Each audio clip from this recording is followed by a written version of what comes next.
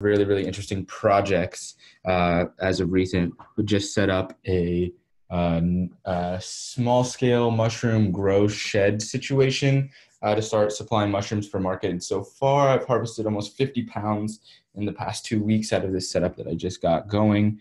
Um, and uh, we're working on currently setting up an outdoor or semi outdoor growing uh, uh, situation with a kind of shade tent. Um, very similar to uh, cultivation styles that you'll see in Southern Asia, uh, which typically work very, very well. So uh, we're going to be doing that, and then we're going to be working on a new little uh, king oyster project that uh, I've been seeing a lot of information out of Greece uh, with a lot of success with individuals cultivating king oyster mushrooms by burying them um, in mineral rich soil under shaded areas. So I'm really going to have a lot of fun this year playing around with a lot of mushroom cultivation, but might as well go ahead and get started. I'll just do a little selfless promotion real quick.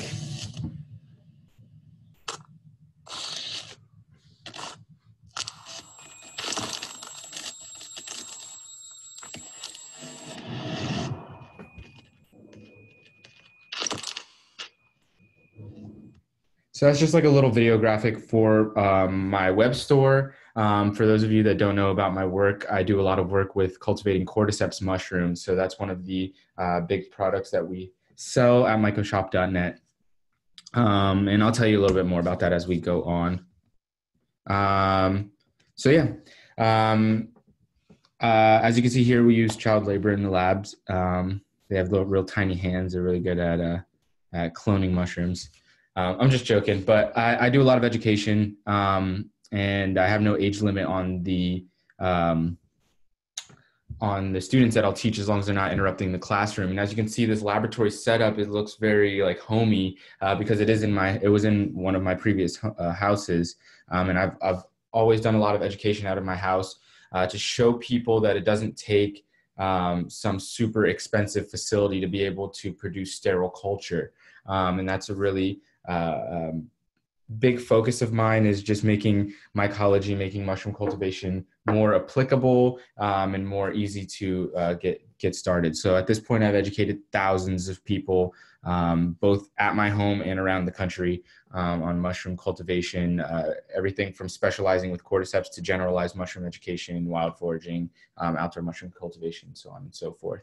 Um, and outdoors is really where it starts uh, as far as my business goes. So my business is Mycosymbiotics. I started Mycosymbiotics when I was 21 years old in 2015.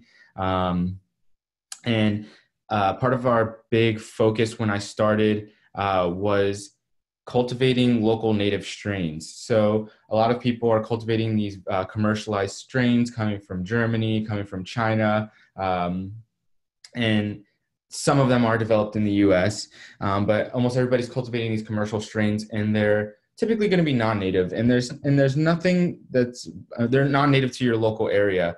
Um, the, a lot of them are native to the united states but um, and there's nothing wrong with cultivating those mushrooms. I mean they're very high producing high yielding mushrooms that are going to work well as uh, far as marketing goes and making sure that your production stays up.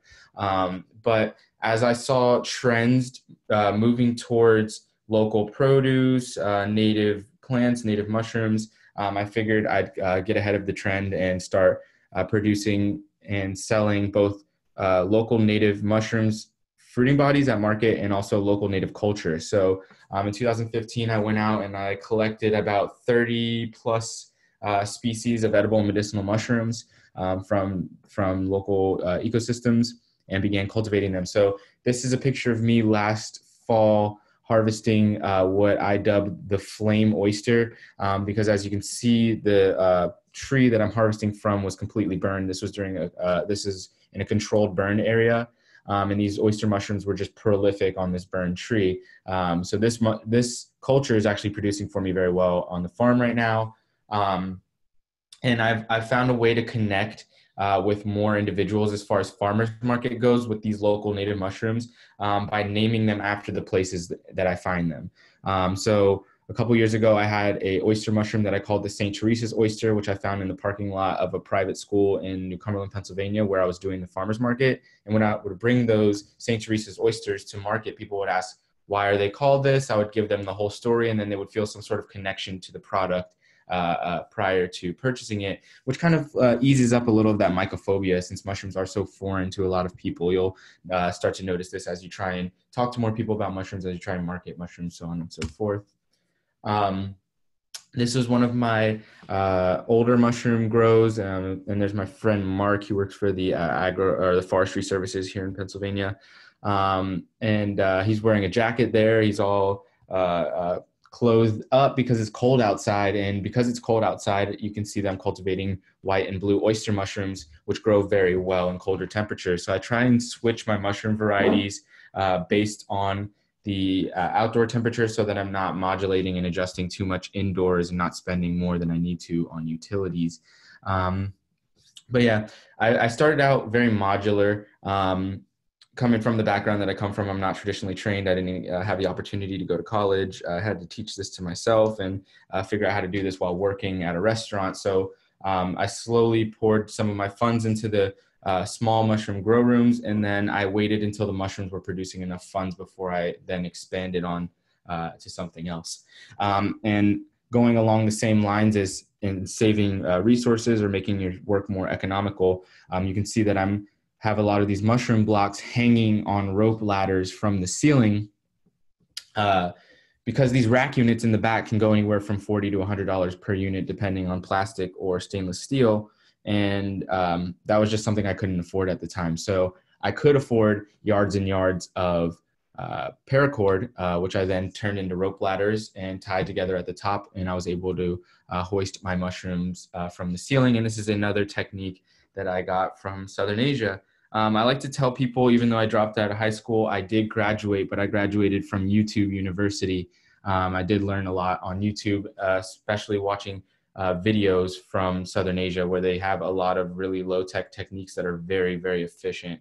Um, so this worked out for me until I was able to afford the rack systems, which I eventually uh, worked up into.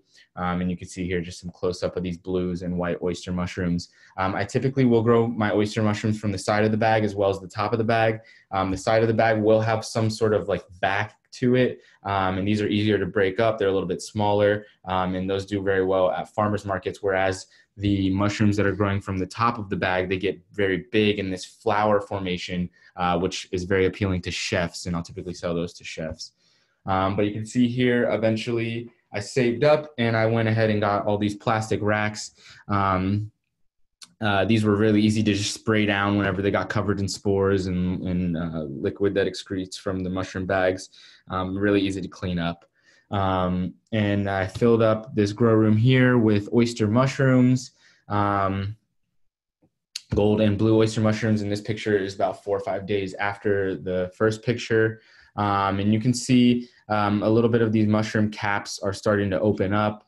Um, and at that point, they're not going to have as long of a shelf life. So you're definitely going to want to uh, pick your mushrooms before the caps open up all the way or get wrinkly.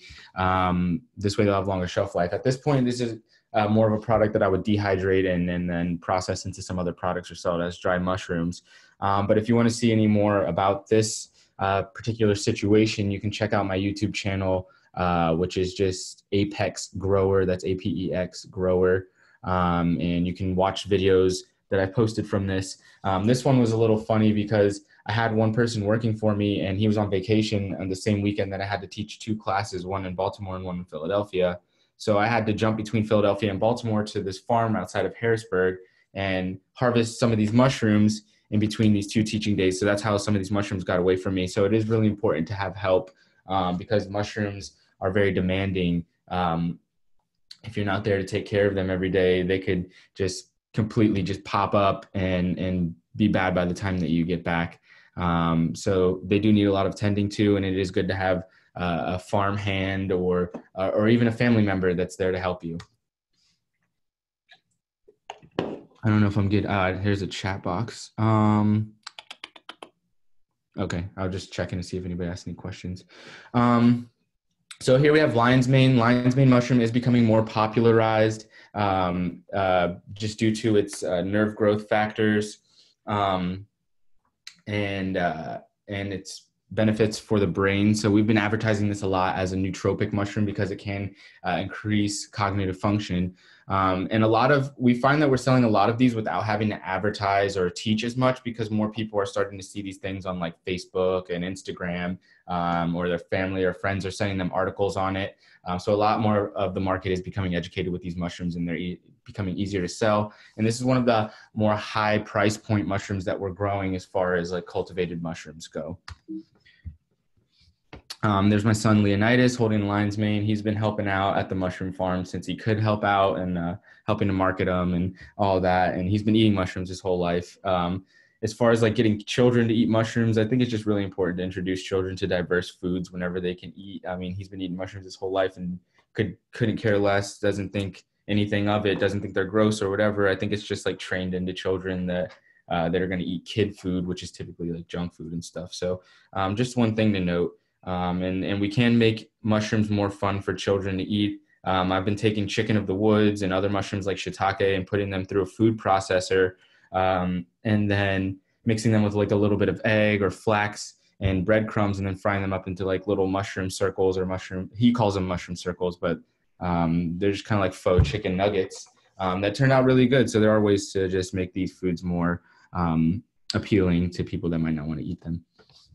Uh, here we have some chestnut mushrooms that I was growing. This is Pholiota adiposa, one of the couple of Pholiota mushrooms that we eat. Um, is another cold weather uh, loving mushrooms. So I do end up growing a lot more mushrooms in the wintertime because it's easier uh, as far as the temperature goes. It's a little bit uh, more difficult at this time of year when it's really hot to keep a facility uh, cool enough for growing all sorts of mushrooms. And that's one of the reasons why I switch up what I'm growing. But this is a great marketing mushroom as the stem and cap are of the same kind of texture um, and you can just eat that whole thing up. Super delicious.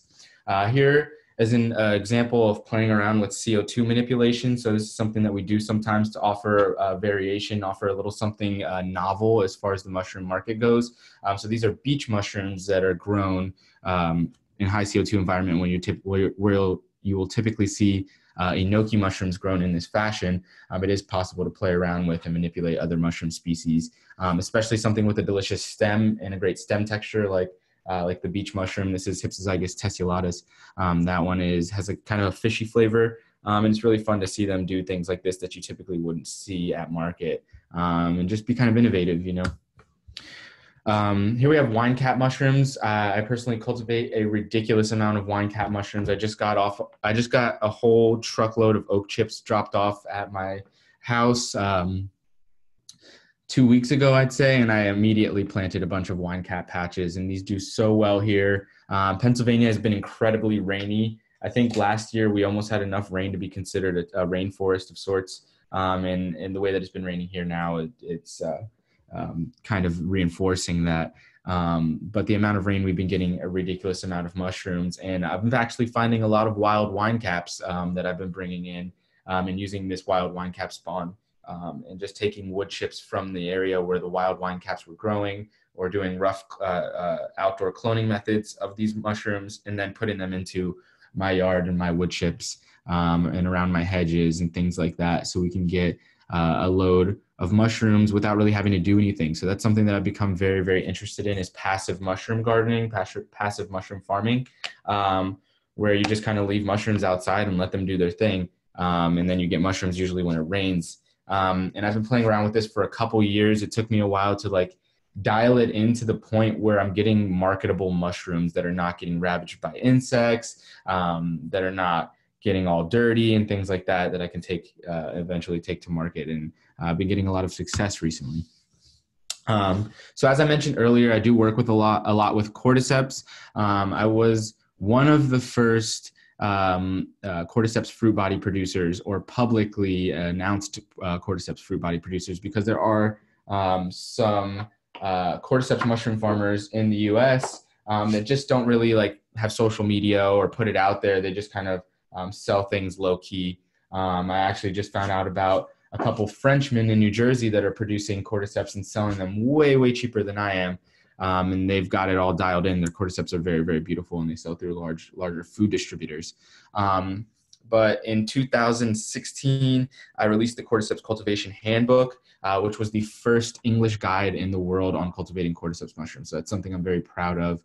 Um, and I'm definitely uh, working on raising money, um, looking at some grants, maybe potentially doing a Kickstarter or something of that nature to um, write the second cordyceps cultivation handbook because I've learned so much. Um, and since 2015, when I started cultivating them, and since the release of my book, I've seen over 100 cordyceps farmers uh, start to pop up in the United States. A lot of them using my cultures or, or, my friends' cultures, a lot of them using my information and information from my Facebook group, which is the Cordyceps Cultivation Group, um, where people share information, people share pictures of their cordyceps grows.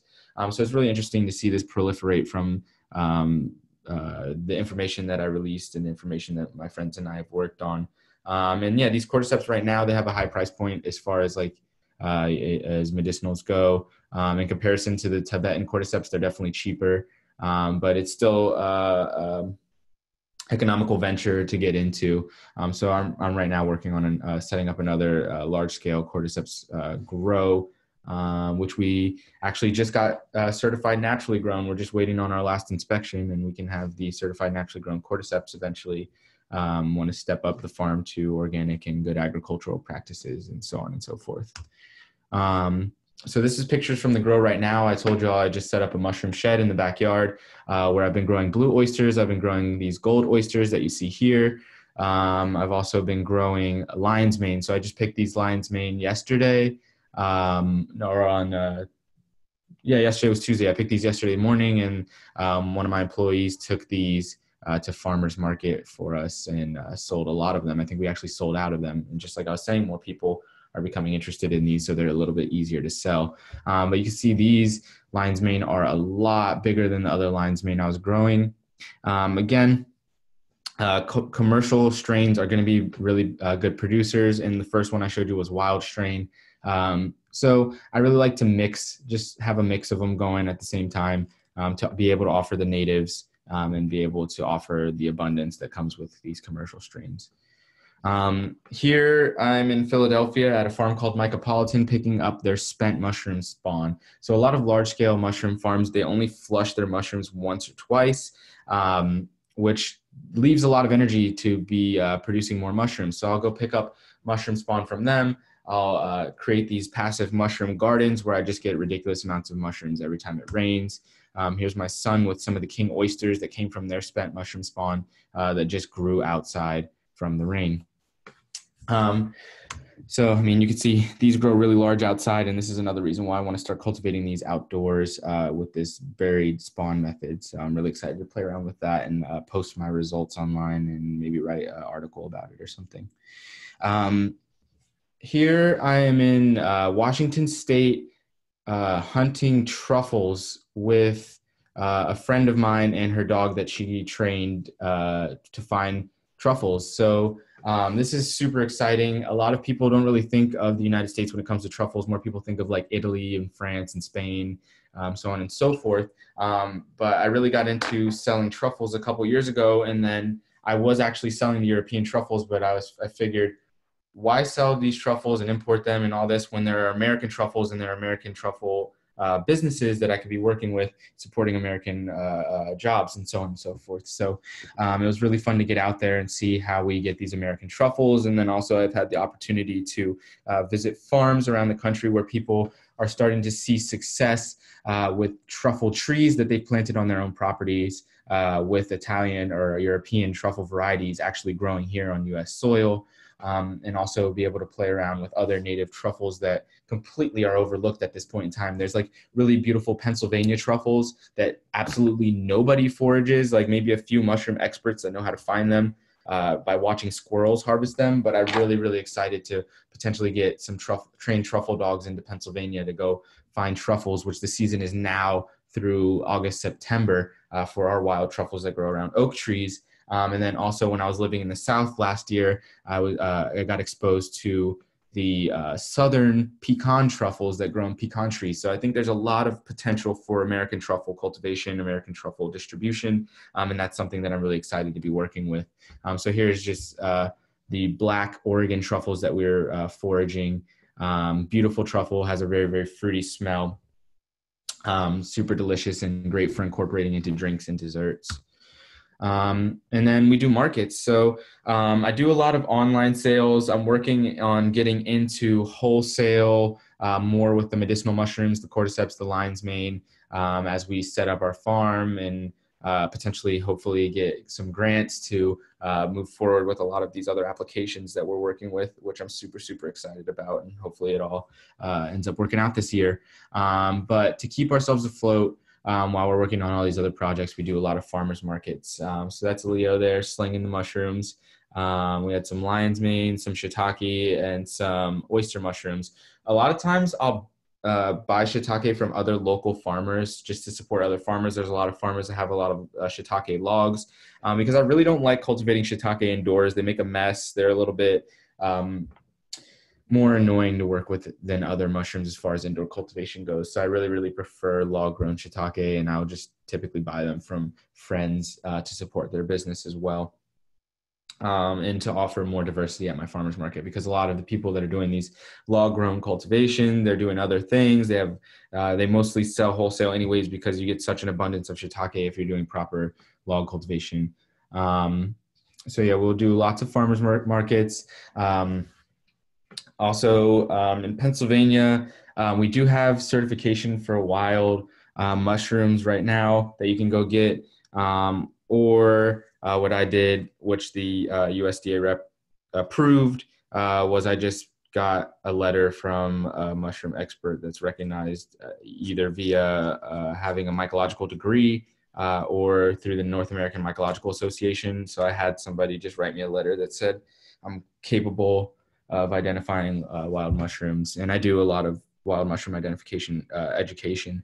Um, so here we're selling chanterelles. We have these black trumpets. We also have these chicken of the woods. Uh, this was a couple years ago at the farmers market, and working with these wild mushrooms is really incredible, um, especially to be able to bring to the table uh, next to the gourmets and offer a big diversity and get more people uh, tuned into the mushroom, uh, the mushroom world.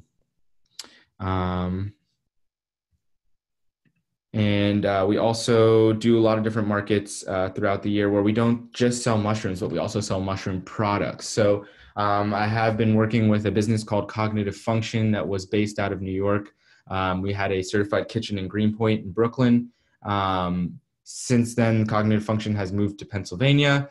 And um, right now, we're actually we're uh, looking to try and maybe rent or find some place to utilize as a certified kitchen and get it um, certified for our processes so we can uh, start creating our products again um, and working with other unique products that I'm really, really excited to release that aren't mushroom related. And if you're interested, just check out my Instagram at MycoSymbiote um, if you want to get in on some of those other cool projects that we're working on. But um, all these value added products are super amazing. We have like a, a cordyceps flame cider. We do tinctures, which we're kind of moving away from because tinctures are so available and we're trying to really innovate in the field of mushrooms um, a lot of people are just doing the same thing. So we're trying to offer things that aren't currently available.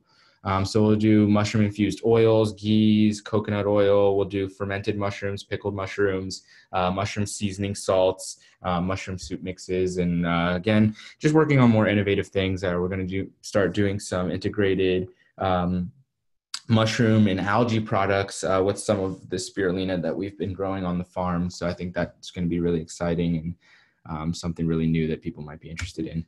Um, this was at farmers market last weekend in lancaster pennsylvania so you can see just what i'm producing right now. We had the blue oyster mushrooms the gold oyster mushrooms just like i showed you um, and these chicken of the woods. Um, you really make the most money off your mushroom at, at farmers market by breaking them down into pints and half pints. You're able to sell them a little bit more than you would sell them as far as like wholesale or to a restaurant. Um, so that's one of my favorite ways to sell mushrooms and make a little extra cash. Um, so since I was 21 years old, since I was 21, um, I've been traveling around the country teaching people about mushrooms.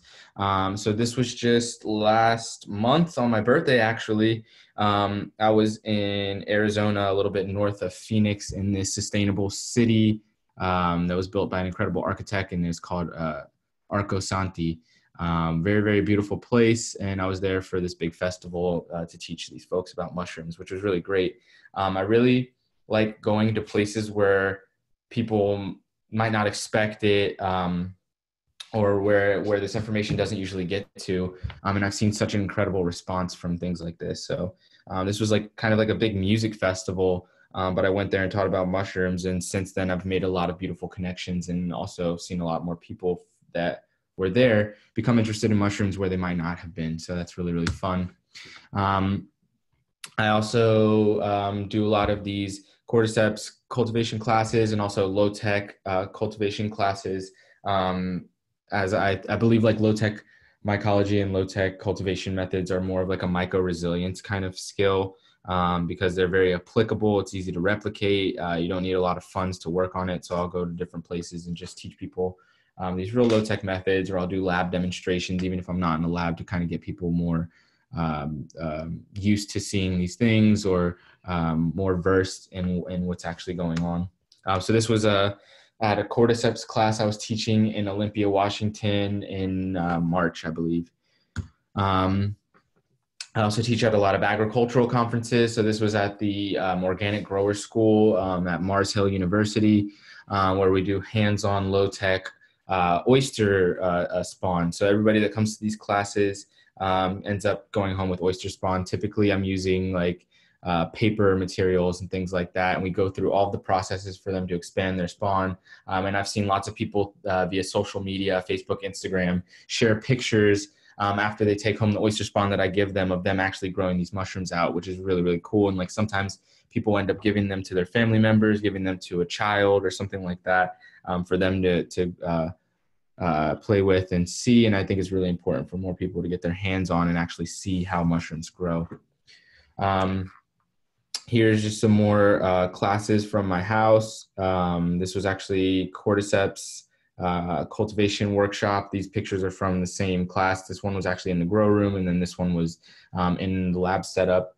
Um, I just had like sort of like a little renegade uh, small lab setup at the beginning of the year, and now finally got my full lab setup at my new home that I moved here in April. Um, so this is from our last location. Um, uh, yeah, and the cordyceps classes have been really great. Uh, just like I said, I've taught thousands of people, but I've taught I've taught thousands of people just general like uh, focused on cordyceps, and also um, proud to say that I've sold over 2,000 copies of the cordyceps cultivation handbook. So it's really cool to see that information get out there. Um, here you see um, doing this um, yesterday's news technique, uh, which I learned in Atlanta. Um, I do a lot of mushroom club circuits. So uh, the North American Mycological Association works with all these regional mushroom clubs, and typically the regional mushroom clubs work with each other.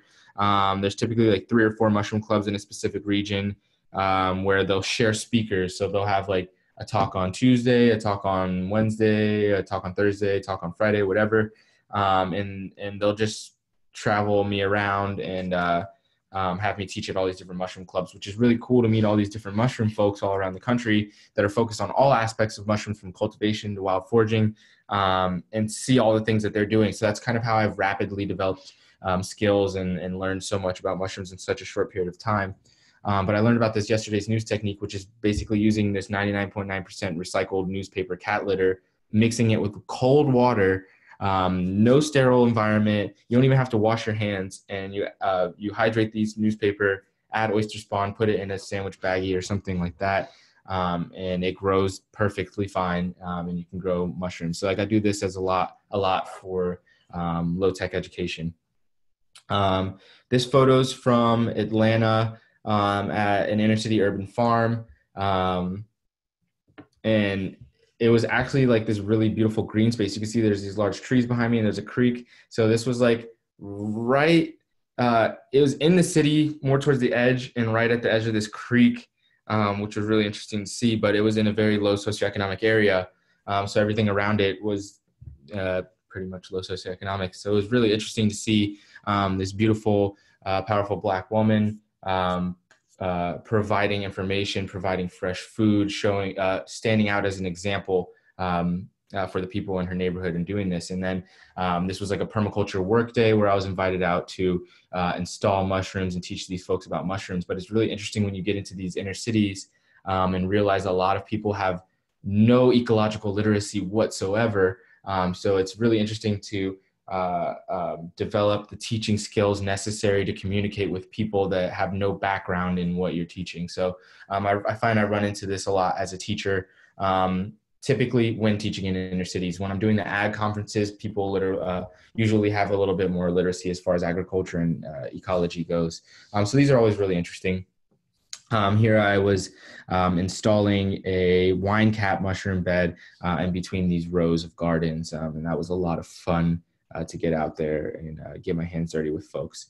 Um, again, this is at Mars Hill University at the Organic Grower School. Um, this was at the SAWG conference, which is the Southern Agricultural Working Group. Um, and it's really, really great to be able to uh, reach out to so many people. and this is another way that I market my products as well. when I do these classes, um, I just throw little bits about what I'm doing, my work, um, and the products that I offer, and then you can see how many people are out in the crowd. It's a really great opportunity to be able to just sell your products at the end of the class. Um, this is a picture from last year's uh, Mycosymbiotics Mushroom and Arts Festival. So for the past five years, uh, part of my community outreach and community engagement has been offering this uh, mushroom and arts festival the first weekend of August every year. Typically, we find over 200 species of mushrooms. Uh, we identify all of them. We have experts um, uh, from around the Northeast and Mid Atlantic come out. We identify all these mushrooms. We typically get a lot of really good genetics for cultivation. Um, uh, and we have a lot of fun. We have a lot of vendors out. Um, we have a lot of teachers that are experts. This year, we're going to have Tradd Cotter. Uh, we're going to have Matt Powers. Uh, we're going to have uh, Ryan Gates, who's a Ganoderma expert, a reishi expert, um, and a lot of really fun people uh, come out to educate. So um, just kind of getting people together, spreading the mushroom knowledge, uh, advancing the mushroom culture. Um, and that's something I've been focused on for five years. Um, also integrating mushrooms into um, very high-end culinary uh, cuisine, which increases the value of your mushrooms. So uh, we've been doing exotic food dinners, uh, both in the wintertime we do like more like exotic exotic which where the we import foods um, and then in the summer uh, spring through fall we do local exotic um, so exotic really just means something that's foreign, and a lot of people, to a lot of people, wild foods are foreign. So uh, we bring in these wild foods, we incorporate them with mushrooms we cultivate, uh, we incorporate them with wild foraged mushrooms, um, and then we do these really in, uh, interesting uh, exotic food dinners where we get people together. It's kind of like a dinner club, um, and we have uh, one of the uh, high-end chefs from the local area prepare these mushrooms and all sorts of other foods in beautiful ways. we have lots of fun doing this, and also this really, really increases the value of our mushrooms as we put these things on social media, as the chef shares them. Uh, other chefs in the area try to uh, reach to this tier. They want to get access to these ingredients, and when you're the one providing them, that puts you in a really good spot. Um, so here we have uh, the cordyceps mushrooms I was cultivating, both fruiting bodies and the mycelial cake, which is grown on rice. Um, complete, uh, we uh, put these in the oven and then fried them up with a little bit of butter, and those came out super amazing. We've had people that said that they didn't like mushrooms completely like fall in love with this cordyceps cake and we did that with some morels and, and pomegranate arils and other greens um, so that was really really fun um, so i do a lot of these lecture circuits I'll advertise, I'll advertise a lot on social media. That's typically how I do everything. Almost all my classes at the beginning, I ask everybody how they found out about the class.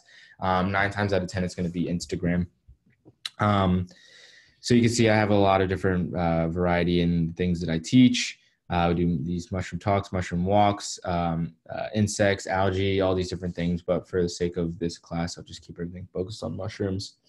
Um, we have uh, urban myco design immersion coming up uh, August 9th through the 11th. I'll do these three day training weekends where I actually bring people on the farm. They get hands on lab skills. Uh, we uh, work on grow room build outs. Um, we do outdoor mushroom cultivation, indoor mushroom cultivation, low tech uh, and full on sterile uh, cultivation work. So um, I'm really excited to be offering these classes again. I uh, in the past have offered three to five day mushroom intensives uh, where we get a lot of work done working with lots of species and, and, lots of different application techniques. Um, and then again, um, this is this year's flyer for the Mycosymbiotics Mushroom and Arts Festival and I'm super, super excited to offer this. Um, we have a gentleman coming out, John Martin. He's an expert in Florida uh, fungi. Uh, we have Ava and Rascal coming from uh, uh Olympia, Washington, and they sell Uh, they cultivate and sell gourmet mushrooms. Uh, they're really fun.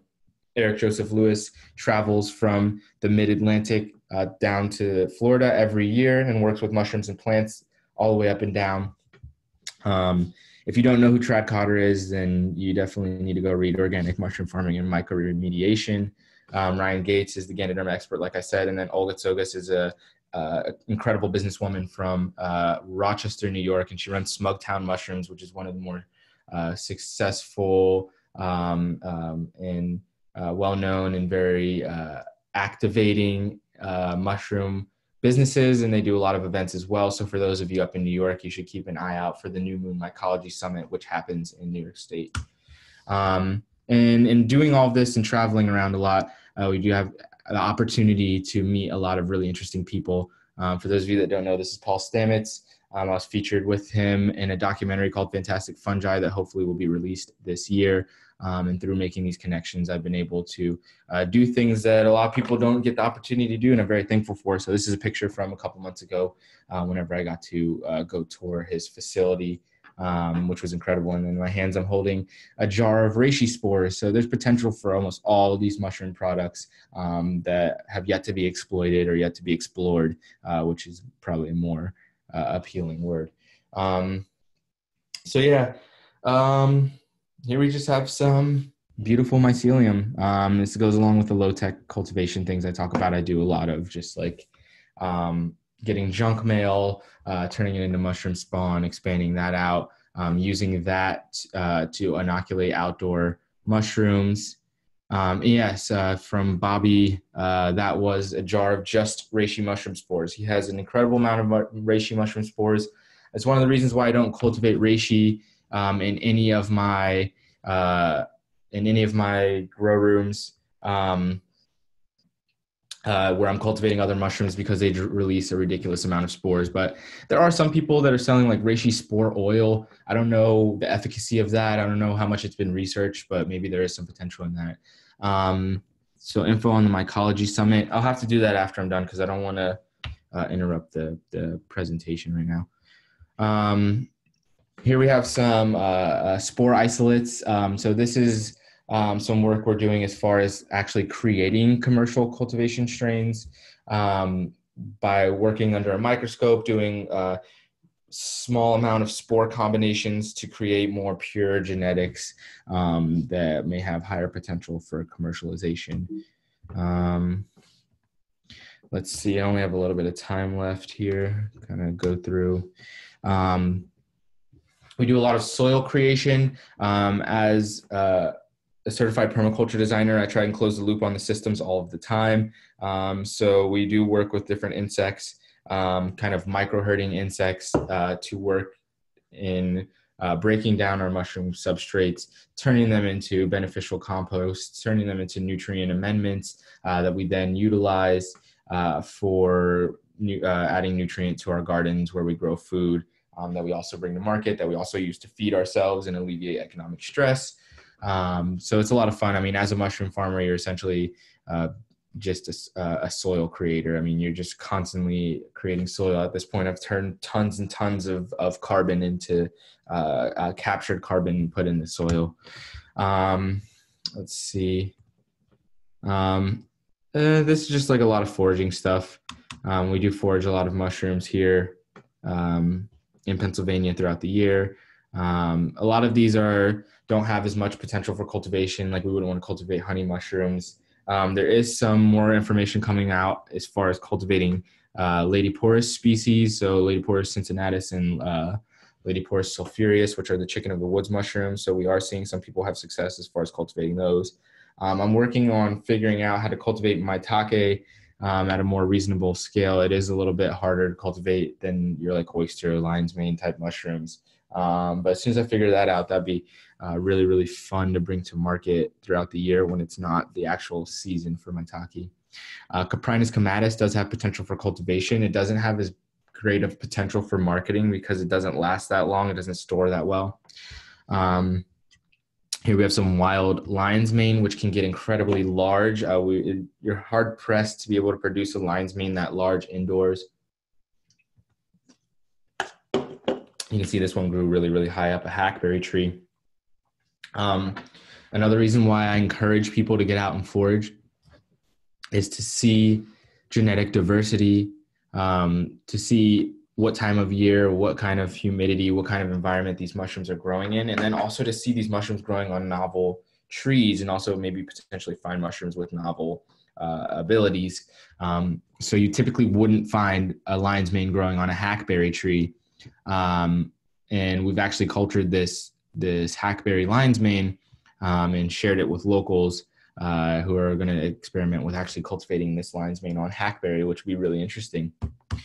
Um, here we have Hericium americanum, uh, more Hericium erinaceus.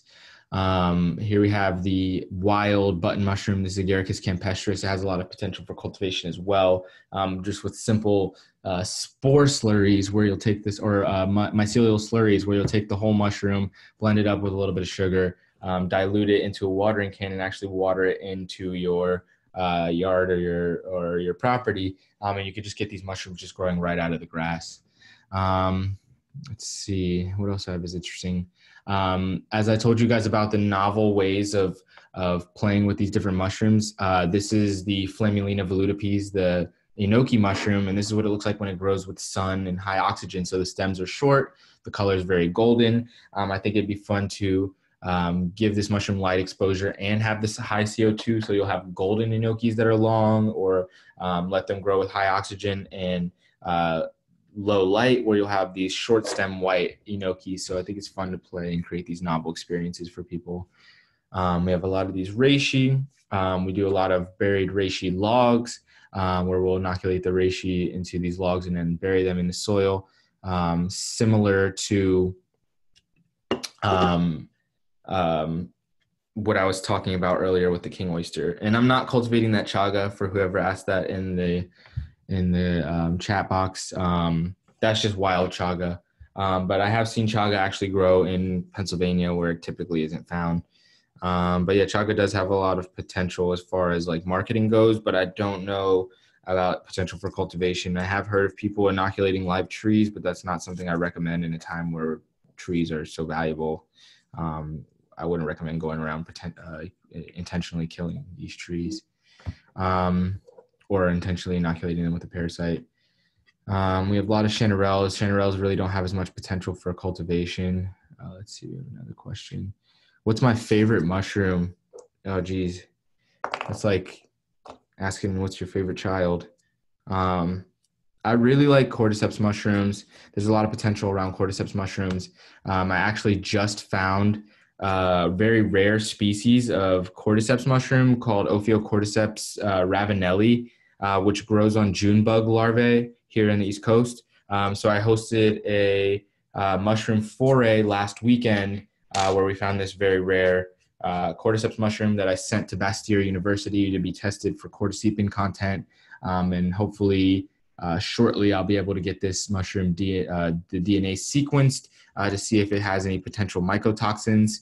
Um, so, if it has no potential mycotoxins and if it has um, cordycepin content, then that has potential for cultivation or potential for marketing, um, which again, I hope to be innovating uh, with with the um, cordyceps. Um, so yeah, there's there's the link to the New Moon Mycology Summit. I'll also drop the link uh, to my festival um, for everybody there. So those are two really great mushroom events that you should get involved with. Um, here we have black trumpets, which I think have the potential of like a truffle as far as like a gourmet goes. Um, was it a public forage or one you did by yourself? It was a public event, um, but it was a paid event. So we I rented a private campground. Um, individuals came out, they paid. We usually do sliding scales, um, and then we got two mushroom experts. We got Tuggerel DeLuce. Um, we also got John Plischke, um, and they're experts both out of Pennsylvania, and they were there the whole weekend. They did talks. We had a uh, a very intense uh, bolete talk, talking about all these different boletes you can find in Pennsylvania. And then John Plischke talked about uh, mushroom preparations and like cooking with mushrooms and things like that. Um, so I do a lot of these um, events where we'll take people out into the forest. We'll go camping for a weekend and find all sorts of mushrooms. So it's really interesting to get out there. Um, I think I'm running to the end of my time here.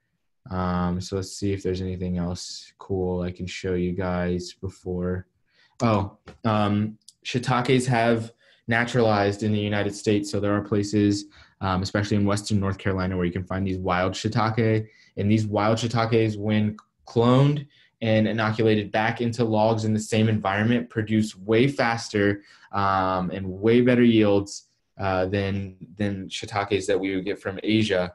Um, because these are more adjusted to our natural environment. So these are some of these big shiitakes that I harvested off of a entire oak tree rather than uh, just these uh, bolts that we typically will be inoculating. Um, here's more of the truffles. These are the pecan truffles from Georgia. Uh, these grow in Georgia and Texas. There's a lot of potential for these. Um, let's see. Uh, more reishi stuff, more cordyceps stuff. So this is what the cordyceps look like that I cultivate. Um, yeah, uh, that's about it. I, don't want to go push my time any further. Um, but these are pictures from my festival, Mycosymbiotics Mushroom and Arts Festival. Uh, we'll be outside Harrisburg this year at Camp Riley. Um, if anybody wants to participate, it's going to be an amazing event. I definitely recommend it. Check out mycofest.net. Um, and I really appreciate being able to present to you guys today. Um, if anybody would care to, uh, you can go follow me at uh, Mycosymbiote on Instagram. Um, my YouTube uh, is Apex Grower. Um, mycoshop.net for if you want to purchase anything. Um, and yeah, definitely just reach out. You know, um, I'm pretty open to communication. I do consultations. Um, I'd really love to be more involved um, with any of the work that's going on in New York. I might be doing a lion's mane cultivation uh, class this month in Brooklyn. So stay tuned or check out my Instagram. I'll post dates if that end up ends up working out. Um, I'm not selling the wild shiitake strain right now uh, because I wasn't able to get another sample of it this year, and I lost a lot of my cultures when I moved. Um, but hopefully by next year, um, because they fruit really well in the spring, maybe if they get another fall fruiting, um, I can get a sample of that because uh, the one the one uh, example that I showed you guys was actually on my friend's property, so he can keep an eye out for those. Um, and if they grow again, he'll send me a dry specimen so I can clone it and then offer that wild shiitake strain. But um, they also have been spotted in Boston, um, so I think that they might be up in the New York area.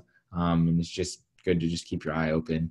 Uh, we do have lots of wild gold oysters here in Pennsylvania with all the mushroom farms that are over here in Pennsylvania. Um, so Nia asked, "Do I have a website for my business?" Um, currently, I just have my uh, shop site. I'm working on updating my business site. Um, as an independent business owner, I haven't worked for anybody since 2015, um, but that also puts a lot of stress on me. Um, as just being somebody that dropped out of high school, I don't really have that great of an education as far as math goes and um, business management and things like that. So I have to, I've had I have had to depend on other people um, and, and, work with other people to make sure that my business stays successful. Um, and uh, um, just trying to figure out all the financial ends